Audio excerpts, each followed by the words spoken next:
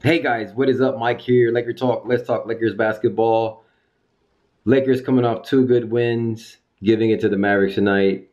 114, 103. Much needed after those two horrible losses to Orlando and the Denver Nuggets. Let's talk about it. So, uh, Lakers, in my opinion, over the last couple games, I mean, we, we coming off these two wins. Prior to that, losing to Orlando at home and then going to Denver and losing to a good Denver Nuggets team, we seem to be trending downward. I thought, you know, enough with who's scoring this, who's scoring that. We need to just put it together and get a couple of good wins.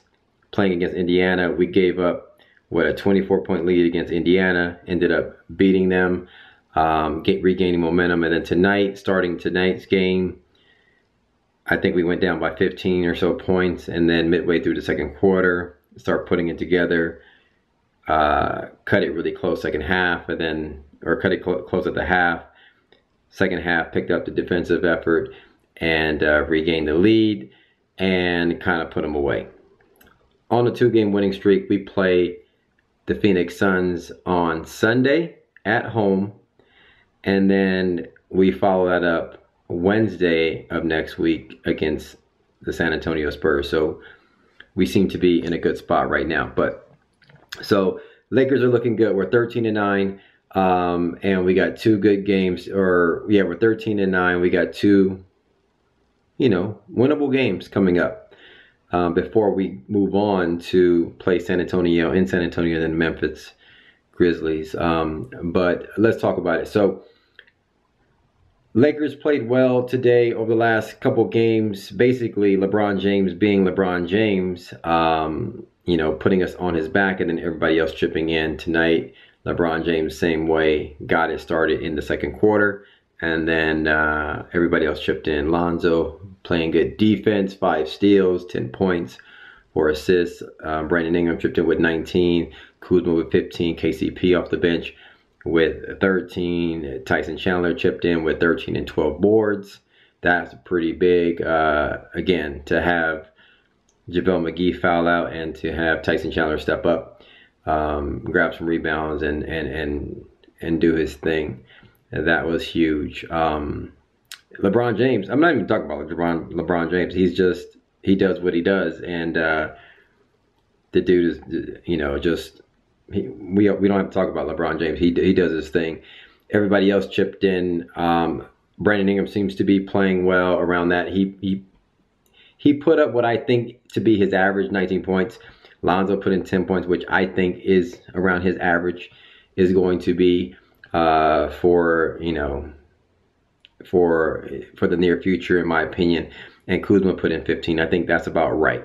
And then you get chip ins from everybody else. KCP, I think, is playing well over the last several games, kind of getting his uh, his uh, confidence back shooting the three ball. So um, the Lakers uh, seem to put some defensive, I mean, play some good defense, team defense um, in stretches, uh, which helped us um, kind of, you know, cut this, cut the lead and regain the lead. And I think uh, defensively, we, I was getting on us defensively after that Denver game and the Orlando game, and then we kind of played sloppy a little bit, let Indiana come back, and this game started off kind of weak, but it was the defense, in my opinion, that kind of got us back on track. I think we just kind of locked in and started running. They said 31 points on fast break, so that was really good to see um, tonight. Anyway, Lakers are, Lakers are playing well over the last couple games, 13 and 9.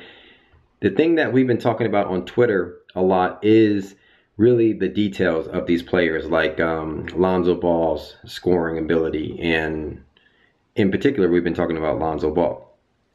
And the thing is, in my last video, I was saying how Lonzo Ball can is is super valuable without scoring the bat scoring the basketball. And everybody is is we're just shooting the breeze and we're saying, listen, for a number two pick, you want to score the ball.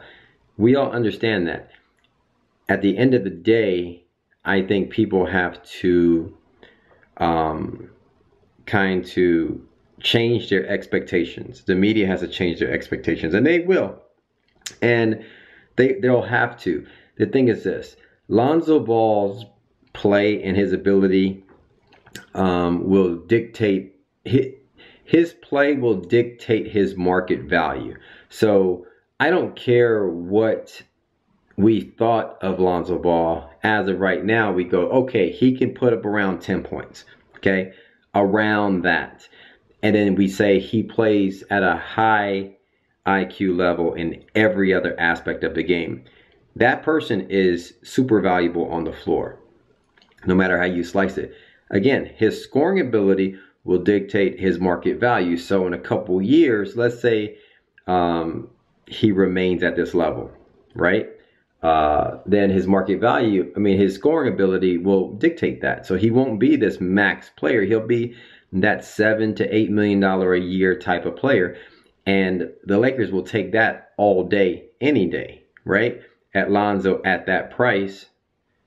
And then you kind of you have LeBron James and you build like other players around him. You have the ability to now sign um, you know, additional superstars to play with LeBron James. And you have guys like Lonzo, who is not the superstar, but can still be that integral part on a potential championship team or a playoff team um, trying to get to the Western Conference Finals and the playoffs.